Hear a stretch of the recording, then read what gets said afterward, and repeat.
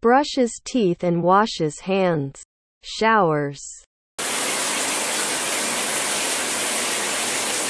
poops, flushes toilet, washes hands.